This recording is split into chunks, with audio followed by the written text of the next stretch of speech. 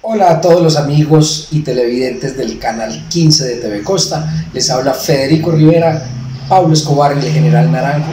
Y quiero invitarlos a que no se la pierdan todas las noches, de lunes a viernes a las 9 y 30 de la noche por el canal Caracol.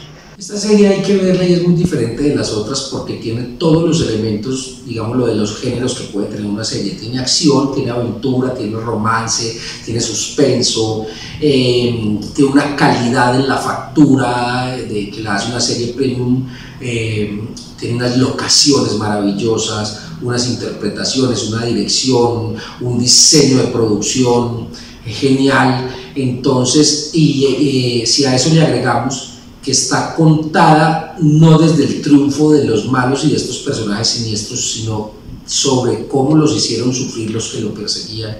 Eso la hace que sea una serie innovadora y muy interesante de ver.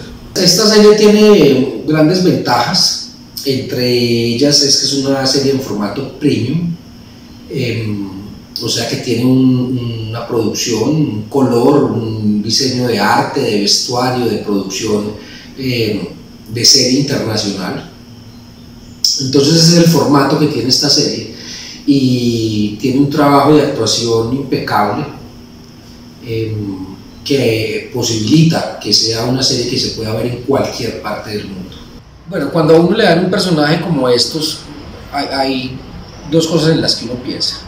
La primera es cómo hace uno para derrotar sus propios temores e inseguridades, porque es un, personaje que, que, tiene unos moldes que ya se han visto, en este caso intentamos hacer un personaje completamente diferente a los, a los anteriores que se han hecho, y lo segundo es, ¿cómo hago para cumplir con esa responsabilidad?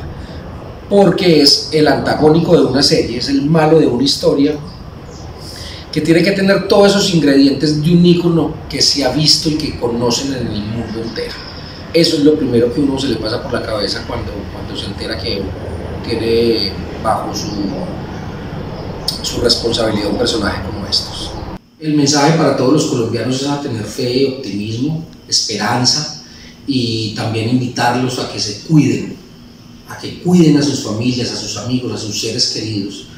Recuerden que del cuidado de uno depende la salud de los otros.